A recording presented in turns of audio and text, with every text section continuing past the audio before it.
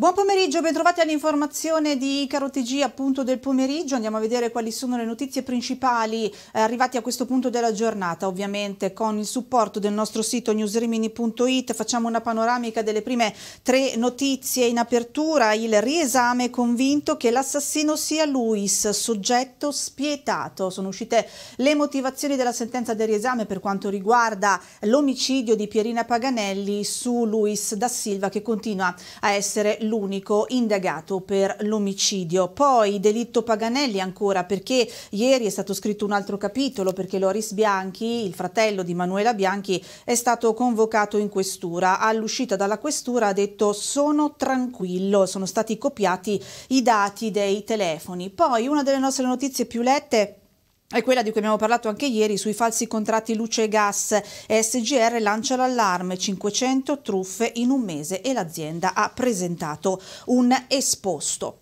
Allora andiamo con ordine, eh, quindi torniamo sull'omicidio di Pierina Paganelli perché eh, sono state depositate ieri le motivazioni del riesame, lo leggete anche sul nostro sito newsremini.it in merito alla decisione di eh, confermare la detenzione in carcere per Luis da Silva che i giudici decido, ehm, che i giudici ehm, descrivono eh, come un soggetto spietato e pericoloso. Sentiamo un soggetto incapace di contenere le sue pulsioni criminose, che non ha il minimo rispetto per la vita umana e che non esita a sopprimere chiunque ostacoli un suo piano. È durissimo riesame nel tracciare il profilo di Luis da Silva, in carcere dal luglio scorso per l'omicidio di Pierina Paganelli. Il Tribunale della Libertà di Bologna, presieduto dal giudice Mazzino Barbensi, ha blindato l'ordinanza di custodia cautelare emessa dal GIP del Tribunale di Rimini Vinicio Cantarini, demolendo la tesi della difesa che invece puntava il dito contro Loris Bianchi. Per i giudici bolognesi assumono grande rilevanti i seguenti elementi: l'identificazione in da Silva dell'ignoto ripreso dalla Cam 3, la telecamera della farmacia San Martino, mentre si dirige verso il civico 31 di Via del Ciclamino alle 22.17 del 3 ottobre 2023, sera del delitto,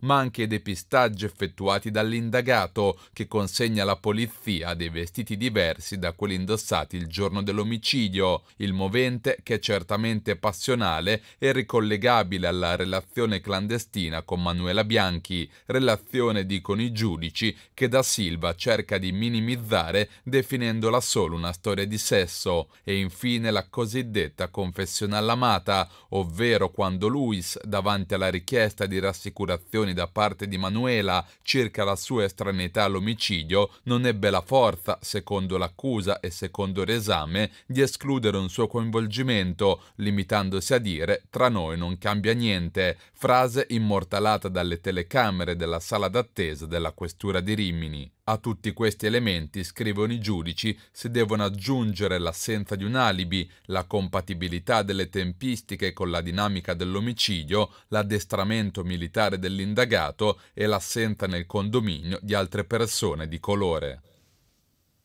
E ieri mattina Loris Bianchi è, ehm, è stato convocato in uh, questura a Rimini. Eh, per che cosa? Per dare il suo consenso alla copia di tutti i dati presenti nei suoi due cellulari. All'uscita dagli uffici di Piazzale Bornaccini, dove appunto c'è la questura di Rimini, il fratello di Manuela, che si è detto tranquillo, si è fermato con i cronisti. Sentiamo cosa ha detto. Sei stato la mattinata senza cellulare? No, la mattinata, due ore, tre ore. Mm. Come mai?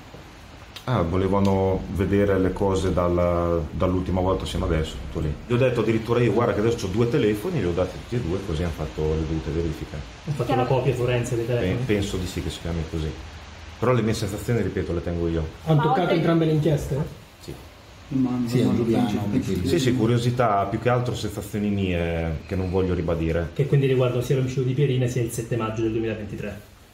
Hanno esattamente, hanno mh, collegato le due cose. Ti hanno chiesto di ripercorrere i tuoi, i tuoi percorsi durante quei giorni?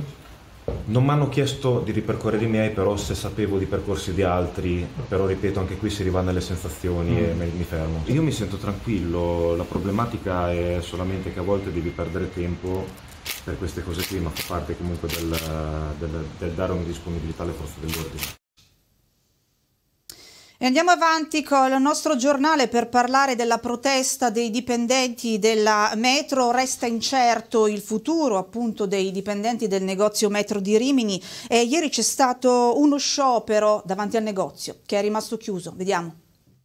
No alla chiusura di Metro Rimini, non molliamo di un centimetro. Questo è lo slogan, con gioco di parole, dei dipendenti riminesi di Metro Italia che hanno incrociato le braccia per l'intera giornata di lavoro con un presidio di protesta davanti al punto vendita che, vista l'alta adesione alla mobilitazione, non ha potuto aprire al pubblico. In sciopero anche il negozio di Pozzuoli, l'altro del quale la società ha annunciato la chiusura. A Rimini le serrande dovrebbero abbassarsi definitivamente il prossimo 31 dicembre, dopo 21 anni di attività, mettendo così a rischio 40 posti di lavoro tra diretti e indiretti, che diventano 97 contando anche Pozzuoli. Sindacati e dipendenti però non si arrendono e chiedono all'azienda di proseguire le trattative, scongiurando la chiusura e ragionando invece sulla riconversione del punto vendita, soluzione che consentirebbe di salvare tutti i posti di lavoro. La vertenza, spiegano CGL Cisle Will, proseguirà fino a che da Metro Italia non arriverà un passo indietro sulle chiusure. Non sono quindi escluse nuove mobilitazioni. E andiamo avanti dal nostro sito newsrimini.it per andare a parlare del eh, Natale. A Riccione un Natale lungo due mesi, tra gli ospiti musicali anche Enrico Ruggeri, quindi a un mese dall'inizio degli eventi eh, la Perla Verde svela proprio i protagonisti del suo Natale di Riccione Christmas Sea, così si chiama, e si punta sulla musica e anche su allestimenti a tema acquatico. Vediamo.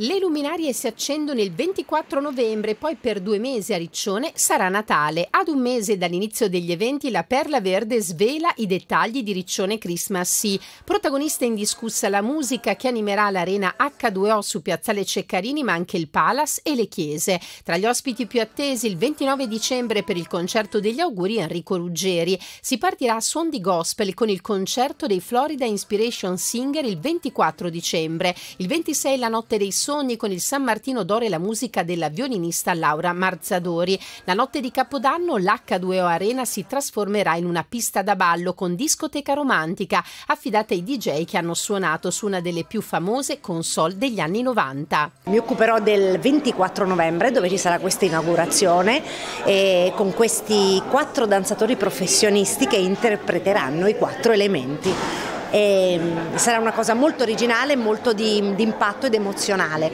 E poi la, la notte del, di Capodanno dove lasceremo andare tutti i pensieri e avremo un giovanissimo corpo di ballo che si cimenterà in questa mezzanotte di fuoco. Abbiamo deciso di dare una continuità romantica includendo un eh, partnership importante che è l'Acquafan, che è stato sicuramente il riferimento degli anni 90 a Riccione. E I produttori di DJ, gli artisti si concentravano e arrivavano all'Acquafan appunto per portare i propri successi, così come è stato anche per, per noi insomma, che abbiamo dato il, là, il via ai nostri brani che abbiamo poi lanciato sul mercato. Il nuovo anno si apre con il tuffo di Capodanno e la Milonga. Riccione punta anche sugli allestimenti, il taglio del nastro della pista di pattinaggio di 1600 metri quadri che si snoderà da Piazzale Roma sul lungomare in direzione Porto sarà il 23 novembre.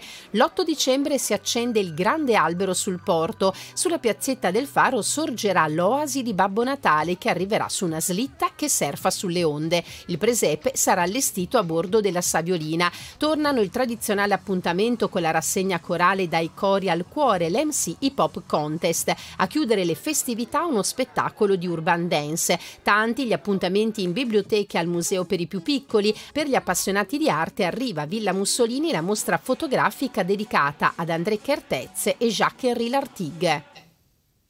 E a proposito di Riccione, vi diciamo che il lunedì 28 ottobre inizieranno i lavori per la realizzazione del nuovo parcheggio pubblico nell'area circostante l'ospedale eh, Ceccarini, lato via Frosinone. L'intervento nasce eh, dall'accordo tra l'AUSL e il comune di Riccione per la realizzazione di un parcheggio proprio a, servizio eh, della comunità. Il nuovo parcheggio sorgerà su quest'area di 2850 metri quadri, offrirà 84 nuovi posti auto, di cui 9 riservati a persone con disabilità, due posteggi rosa per donne in gravidanza con bambini al seguito fino ai 12 mesi e due per sosta auto con ricarica elettrica, un intervento che si aspettava da anni.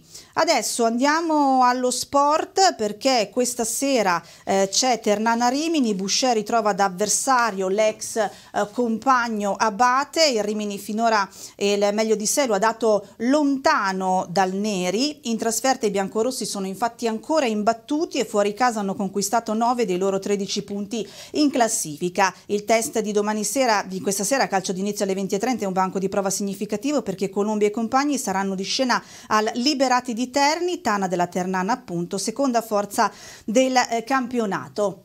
Mister Boucher ritrova ad avversario Abate, suo compagno di squadra all'Empoli. Allora sentiamo le parole del tecnico dei biancorossi proprio alla vigilia. Eh, in effetti è una partita mh, tosta perché comunque affrontiamo eh, una di quelle squadre candidate a, a, a, vincere il campionato in maniera diretta, senza passare per i playoff. Quindi eh, sappiamo il blasone, sappiamo la forza di questa squadra quindi siamo consapevoli che in trasferta finora abbiamo fatto comunque cose importanti e avremo, avremo da, da, da, da, farlo anche domani, ecco, nonostante magari qualche difficoltà, ma fa parte, del, fa parte del gioco del calcio, quindi la consapevolezza nostra è quella di affrontare comunque tutte le partite per portare a casa la, la, la post impario piena e lo facciamo anche quando giriamo in casa. Purtroppo in casa a volte anche per, per situazioni, episodi particolari, negativi e a sfavore è andata magari in maniera diversa. Abbiamo recuperato mh, Chiarella che questa settimana ha fatto tutto il lavoro con, con noi, col gruppo, quindi mh, è, in, diciamo, è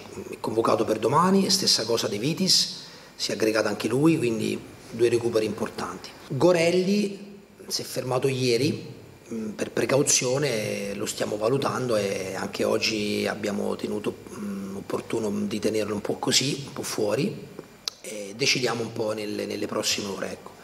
E poi i soliti Cioffi, Malagrida che stanno comunque recuperando, stanno facendo eh, comunque già lavoro in campo, quindi credo che nel giro di 15-20 giorni entrambi possano riaggregarsi in gruppo.